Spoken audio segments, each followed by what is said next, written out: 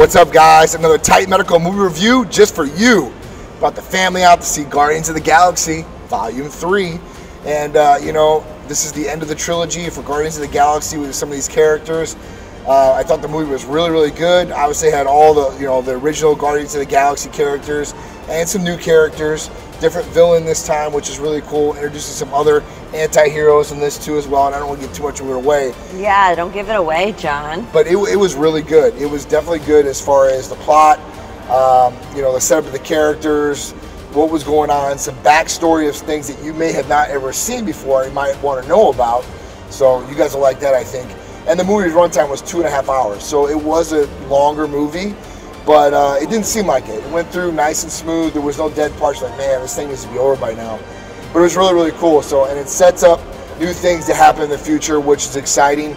Two post-credit scenes, so make sure you stay for those. Great action, great movie. All the characters are all, like absolutely amazing. But I think I was waiting for like the, you know, when you just wait for like the hit of the movie.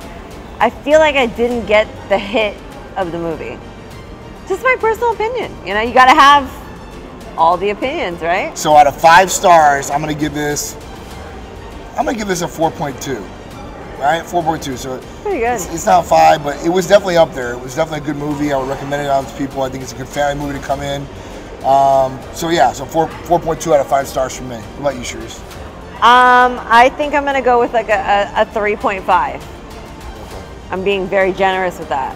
Generous at a 3.5. Very, very generous. I don't even know if I'd go see a 3.5 if you rated it. You've seen many 3.5 movies. In fact, you've seen many 2.5 movies. But I probably thought they were better than that.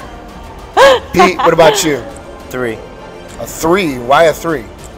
Just because it was just a three, like on the movie. Okay.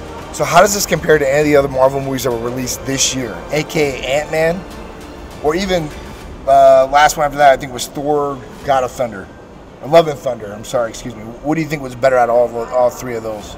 Love and Thunder. I like the Greek god part. Oh, okay. Ah! Oh yeah, I like what they did to him. He looked very high and mighty. Uh, he definitely didn't look high and mighty. They should have picked somebody better for that role. Hold on, wait, hold on. Let's go ahead and put my input on the Ant Man movie because I don't care for Ant Man whatsoever. We However, reviewed Ant Man. hold on. You got your chance. No, I did not. Guardians of the Galaxy, I feel as though it didn't have a super, super cool villain like Ant Man did. It's because you don't know the comics, folks. Uh-huh. High Evolutionary is a pretty well, how many villain. how many people out there might see the movie that doesn't know the comics? That's my review. There might be a couple of them, but still. You wouldn't know who Kang was unless I told her too, so it really doesn't matter. But he was a cool villain, I think, all the way He around. was cool all around. He was cool. So listen, take it from us. Go see the movie. I think we all agreed that the movie was worth It was watching. it was definitely watchable. It's a great Right. movie. I thought it was great. So take the family out, go watch a good Marvel flick, and be entertained. You're gonna love Guardians of the Galaxy Volume 3 and all the characters that come with it. So that's another Titan Medical Movie Review just for you, from the Titan family, the original, to you guys. We love you, and we'll be back with another movie review very soon.